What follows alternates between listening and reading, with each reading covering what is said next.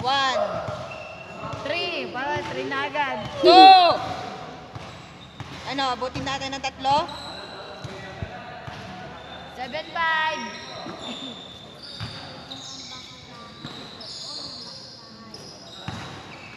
Shoot mo. Ganda ng pangalan eh. Ito, no? Hmm. Up.